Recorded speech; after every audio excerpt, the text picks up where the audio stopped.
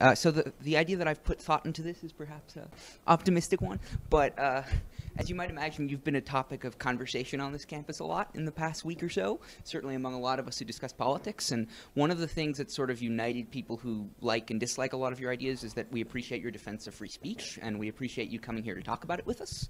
Uh, but one of the things I thought was really interesting is Professor Van Dyke addressed the distinction between you and Jonathan Haidt. And you mentioned this as sort of a temperamental one. And I think, I'm, I'm sure that's true to some extent, but I, I noticed you've, you've, made a lot of more sort of substantively inflammatory claims. Like in the course of this lecture, you called uh, the authors of Facebook posts demons and totalitarians. Uh, in past events, you've called them things like uh, neo-Marxists, cultural Marxists. Uh, you've called them, a, I believe, a fifth column that is committing treason against the West. And it seems to me this is more than temperamental. This is a substantive difference. And, and it's another, a substantive yes, difference. And, yes. and another thing you've done is that, unlike Haidt, you have a more sort of comprehensive political program. You've talked a lot in defense of traditional hierarchies, both of gender, of class, so on, uh, though emphatically not of race. Uh, and so it seems that I haven't talked about defense of traditional hierarchies in terms of gender and class. That's not true. well, you've talked about hierarchies in society. You've talked Yeah, about the, that's yes. true. I Well, have done that, not but I haven't class? justified them on the basis of gender and class. You, or you whatever it well, okay, but you, you talk not about, okay. That's an important yes, distinction. Okay, but you, you defend hierarchies in society in a way that you talk a lot about the Pareto distribution. Yes. that doesn't mean I Yeah. defend it. Well, okay. You No, not well yes. okay. Yes. well, I mean, I think you talk. Observing that something exists is not the same as defending it. How in the world Well, people attack it, right? What's that? And you don't. People attack it. Attack what? inherently attack the hierarchies of society is inherently unjust, right? Well, they're they're unjust, but Yes. they're also useful. Okay, so you you def- you say they're useful. Some Well, look, people would look, disagree look at with it that this way. proposition. Okay, look at it this way. You obviously think that it's worthwhile to stand up and ask a question. Yes. So you think that standing up and asking a question is better than Yes. not standing up and asking a question. Yes. Okay, that's a hierarchy Yes. of values. Yes. Okay, without the hierarchy of values, you couldn't act. Of course. No, no, not of course. Well, wait. It's you- partly why I- I I'm defending there's the distinction here. hierarchy. Without no a hierarchy, there's about no the impetus facts to act. hierarchy, right? What's that? There is a hierarchy in society, right? No, there's multiple hierarchies Okay, there are multiple society. hierarchies in society, right? Yes. And you say that they are based in you you invoke the lobster, right? That they are based in uh, in nature. I said that they were inevitable. Yes, yes. that they were inevitable. Some right. people that disagree doesn't with mean that, that, they're but, good. But my point is that uh, this is generally relevant to it. You have a broader point than free speech. This is one of the things you talk about. Yes. Yes. Okay. Whereas I think there are some other activists who focus on more exclusively. I'm not an free speech. activist. There's some other individuals who engage in public political speech. Okay. Yeah. who, who focus more exclusively on free speech, whereas you have other goals in mind. But one of the things that you're more inflammatory language, and it's fair, it's a substantive disagreement, has done, I think, is, is it's politicized this free speech to an extent that someone like Haidt hasn't. I've noticed that when someone hears the term free speech now, they associate it with a specific set of thinkers, often as viewed as on the extreme right. And I think I, I- think arguably that's the problem of all factions in society because free speech should be a universal value. Polls certainly suggest that it's coming under increasing threat from both sides. But I, I suppose the heart of my question, in addition to, of course, these other observations, is that do you believe free speech is your primary end, or do you believe these other points you're making are important? Because I've heard you a bunch of times defend free speech sort of contextually, like you've complained about some of the laws in Canada that you dislike, that they institutionalize false facts into the law. But it seems to me mm. that an absolutist defense of free speech makes no preference as to true or false. The point is that something you are being forced to say something. It would be as bad as if, if you were forced to say something that is true, because the point of free speech is that you can say whatever you want, right? No, And- the point of free speech is so that you can think your way through Yes. life without running like but headlong being into a told brick to wall. think position A versus position B is just as bad, right? Even if one is true and the other is not. Okay, well, there was a bunch of questions. Yes. Good job, by the way. Well, actually, wait. Can I just ask one additional addendum, which is, uh, I, I- think the, the politicization of free speech is, is by far the biggest threat to free speech because this has always No, the a- radical leftists are the biggest threat well, to free okay. So this is a different agreement. But I get your as point. The professor agreed, uh, alluded to in previous questions, the substantive threats to free speech in much of the world, in Europe certainly, I think in the United States as well, from the government have come from the radical right. And I think it's fair to say that on the specific narrow subset of certain departments on liberal arts colleges, it's fair to say a threat comes from the left, though its scope is in dispute. But my question is do you think that the way you talk about free speech, the way you link it to specific issues, the way you use inflammatory language, and the way you seem to make it, you seem to defend a specific set of free speech? There are certainly plenty of instances of free speech attacked on the other side that you don't mention as much. Do you think you risk politicizing this? Because it seems to me Yes. that. Okay. And, and do you not think that's a far greater threat? Because, for example, the No. NRA. Well, sorry, the NRA is a group in the United States that defends guns rights, right? Okay, hold it. Hold Yes. it. We need a question. Yes. Okay. I mean, My like I question is said, this. you're doing fine, you but think- it's just too Yes. much. Like I can't keep it straight. Do straight. you think that your behavior risks politicizing it, and do you think that politicization is justified? I think my behavior risks politicizing it, yes. I would rather it not be politicized. And I'm doing what I can to manage that risk. However, it's become political in my country because the government implemented compelled speech legislation. So I wasn't complaining about that before it became political. Now, and there are there is a time even when you're detached in some sense from the political realm that you can't be detached anymore. Well, I'm not happy with the fact that this has become politicized. You could say that I haven't done a stellar job in ensuring in every possible manner that this has remained neutrally apolitical. Probably true, you know, but I'm not particularly unhappy with the way things have gone so far. So, and I'm not happy with the radical left. And so, if they're irritated at me, so much the better, as far as I'm concerned. So, have I conducted myself perfectly? It's like, uh, undoubtedly no. So, um, I'm, I've got more than my fair share of faults, and a temper is one of them. But um, I'm muddling through. So now I know there's much, much more to say, and every, but I have some questions from the audience, so I'd like to uh, read those, and and I'll try again uh, just to divide up the time and the questions, uh, hopefully as fairly as possible. Um, so, uh, Professor Peterson, let's start with you. Uh, so this question says, um, you present your issue with Bill C-16 to be that the infringement of freedom of expression regarding gender pronouns is a problem. Do you hold the same stance with other discriminatory language in the Human Rights Code, such as being able to use uh, racist uh, terms uh, with regard to students? And if you believe that one of these things is a violation but not the other one, why?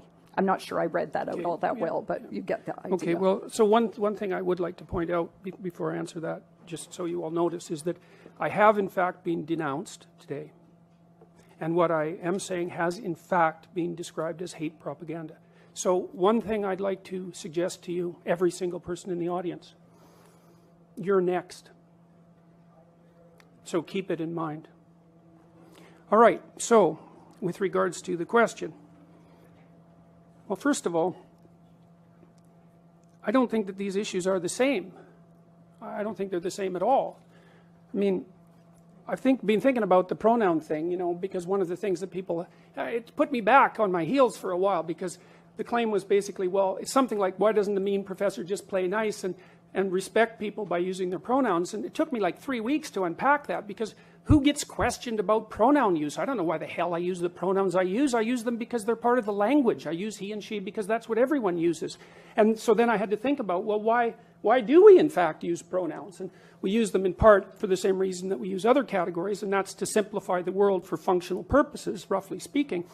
But then I was thinking, well, is the use of he and she a mark of respect? And the answer to that is, well, no, it's not a mark of respect. It can't be a mark of respect. What you call 4 billion people can't be a mark of respect, right? It's a, it's a mark of basic categorization. And so then the claim comes up, well, if someone wants you to use a particular pronoun, then you're disrespecting them if you don't. It's like, hmm, okay, let's think that through a bit. Well, that assumes that when I'm using he or she for, for people in, you know, in normal parlance, that I'm actually indicating my respect for them. And that's not true. It's like if I don't know you, I class- classify you generically, and basically I classify you in terms of how you present yourself publicly. I suppose that's your gender expression. And then I nail you with whatever pronoun seems to fit. It has nothing to do with respect. And besides that, you bloody well don't get to demand my respect. Why should you? You know, I mean, it's not like I respect everyone. That's a foolish thing to do. You respect people who are respectable. You know, you, you make value distinctions between people, and that doesn't mean you illegally discriminate against them. Those aren't the same thing. But I'm all for value judgments. If, if you don't buy value judgments, then why bother learning anything? Why, why bother doing anything? Why go from one point in your life to another if the next point isn't better in some manner? So don't tell me that I'm not respecting people when I don't use their gendered pronouns. And the other thing is, I don't buy this whole idea that the people who are putting this legislation forward are valid representatives of the trans community. That's what they say they are. We have mechanisms for deciding whether someone's a valid representative of a community, and that generally involves democratic voting. I've received at least 20 letters from transsexual people who are on my side, and by the way, zero from others, believe it or not, who are perfectly happy with the idea of gendered pronouns. It's just they want to be the other one. Now, you can have a discussion about that, and there's lots of things to be said about it, but the idea that this community that's coming out and these demanding these rights is somehow representative of this homogenous oppressed minority, I think is rubbish. Well, that leads us to our next question.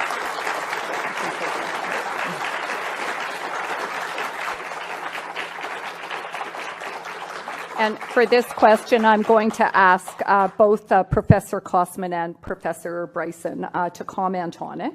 Um, so, one of the objectives of the transgender and queer rights movement is to enter into public conscience um, in a way. And this uh, person asks uh, this can only occur through public conversation. Uh, do you worry that it's, it may uh, not be possible to have thoughtful discussion if there's government restriction about uh, this kind of speech? And do you worry that it would skew discuss, discussion in one uh, direction or another?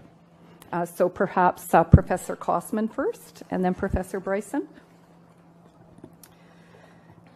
So I've spent a career being concerned about the way in which um, thoughtful discussion is often shut down. And I've been concerned about it on the right, I've been concerned about it on the left, and I've been concerned about it in the mushy middle. And, and I think that Professor Peterson has actually performed some of this today, insofar as he just said that he was denounced here today and that they're going to come for you next. So the thing is about speech is that everybody gets it. And you say something and you then get criticized. So Professor Peterson hasn't been denounced, some might want to, um, but he has been severely criticized. And that is actually what speech does. That is what speech does. I think that um, I think that there is an important way to have public discussions um, around a whole range of issues. I would welcome a discussion on the role of hate speech provisions. I would welcome a discussion around the role of hate speech and its desirability um, about whether the Supreme Court of Canada is right or not right in upholding its constitutionality. But I would like to have that debate with someone who is knowledgeable about the law.